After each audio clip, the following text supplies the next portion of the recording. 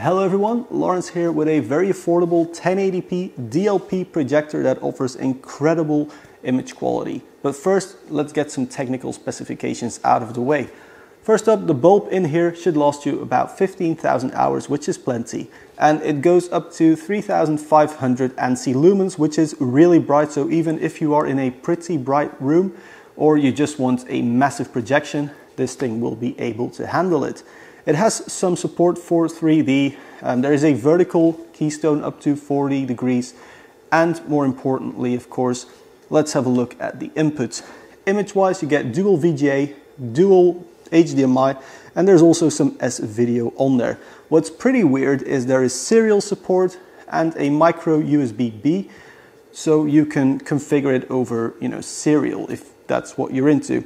It has audio pass-through, so audio in and out, always handy to have. While BenQ markets this towards meeting room stuff, where I work, we actually moved away from projectors and we just go with 4K big televisions because graphs will look a lot sharper on that. Where I think this will shine is having friends over doing a movie night um, or just watching sports events together on a big screen. I think that is what the TH535 is perfect for because it isn't as sharp as you would like for you know showing numbers and graphs and all that sort of stuff. The TH535 isn't a laser projector, it's not short throw, so what that means is my projection screen over there is about 3 meters away and the diagonal of the image I'm getting is about 2 meters. These are just very random numbers because there is a zoom ring on top of there as well. Now the zoom will give you 20% of zoom, which is something and it can be enough to make small adjustments. But again, you can't put this right up to your projection screen. So this is why it's on a table in front of me on this sofa right here. Now, when you're going to be installing this in your place, I would definitely recommend mounting it on the ceiling so it's out of the way. This is of course just a temporary setup. The real reason I would recommend mounting it on your ceiling, for example, is because of the adjustment. This is a budget projector. It doesn't have autofocus and it doesn't have auto keystone. So it's something you want to set up well and then forget about it. If you have it on a table, someone pushes on the table, now your image is out of focus and out of key. So that is something to keep in mind. If it's just something to set up every now and then for a party, that's perfectly fine, but you're not going to be using this as like a TV replacement.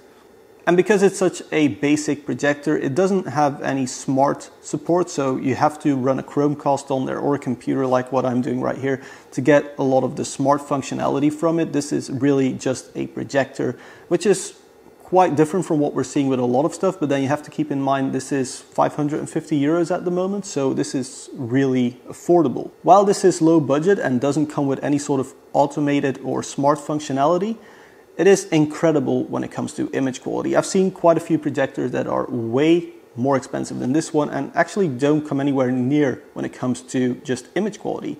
The colors are vivid and bright without being oversaturated like what you would see in a TV store for example. The image is pretty sharp in the middle. However, the lens, you do notice that it's not an expensive lens because there is a bit of distortion and softness when you come to the edges. There isn't really any vignetting going on, but the edge or corner sharpness really isn't much to write home about. However, for just watching TV, watching films, watching sports events, this is perfectly fine. It's actually incredible when it comes to video quality. To round up this very short video, let's do a conclusion on the TH535. First of all, it is incredibly affordable and I think that makes it something that you could have as a little extra when you're having friends over to watch a sports game, watch a movie together. And if you really want to use this in a sort of meeting room, then you can do that too.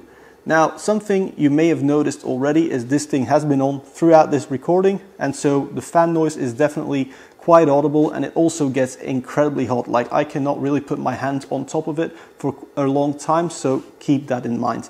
Um, other awesome things about it is the image quality. It's incredible image quality for the price things it lacks are, you know, auto keystone and autofocus. But that's pretty much it for the TH535. I'll put a link in the description below so you can pick one up yourself.